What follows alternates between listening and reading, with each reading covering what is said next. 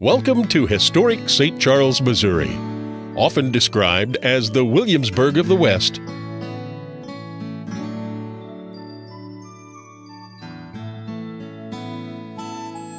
This iconic American city was founded in 1769 as Les Petites Côtes, the Little Hills, by French Canadian fur trader Louis Blanchette.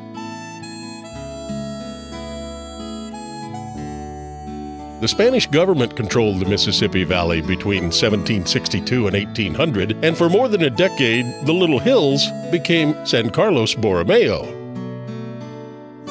In 1804, Lewis and Clark met here to begin their westward expansion. Shortly after that, the city became known as St. Charles. Daniel Boone and his family built a homestead in nearby Defiance, Missouri, and his Booneslick Road later became the eastern starting point of the Santa Fe Trail and the Oregon Trail.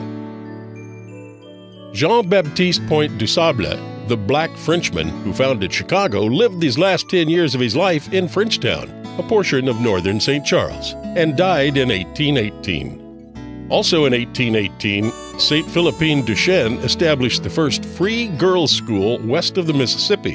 It's not surprising that statesmen decided Missouri's first state capital should be here between 1821 and 1826. Lindenwood College, a landmark private fine arts school and now a renowned university, was founded in 1827.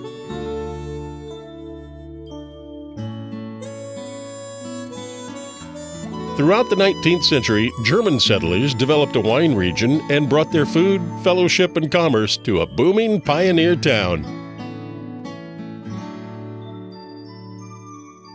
During the 20th century, residents worked to preserve homes, stores, and streets from every period. You'll find many varied types of architecture on historic South Main Street.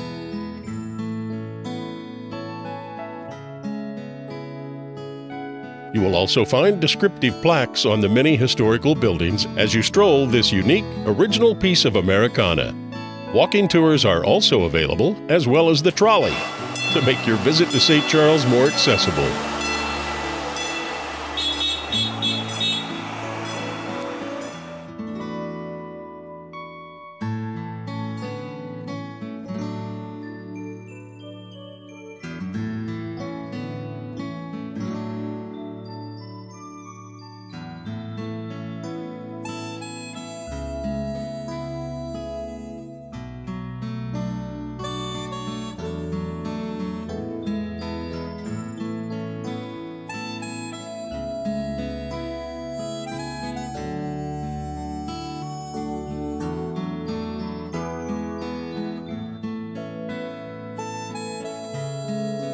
While giving you a look at true American history, South Main Street also offers a large and diverse shopping opportunity with its many family owned shops and businesses. Well, welcome to historic Main Street in St. Charles, Missouri.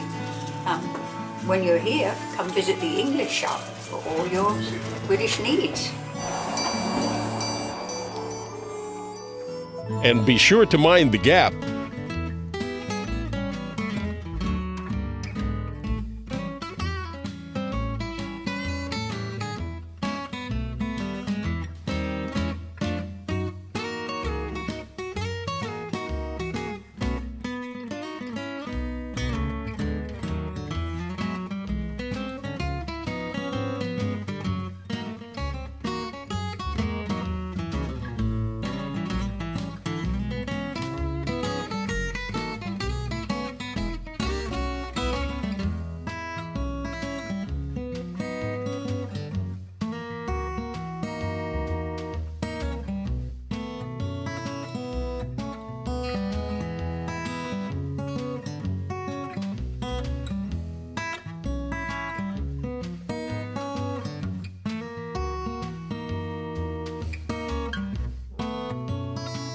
Plan on spending at least one whole day on historic South Main Street.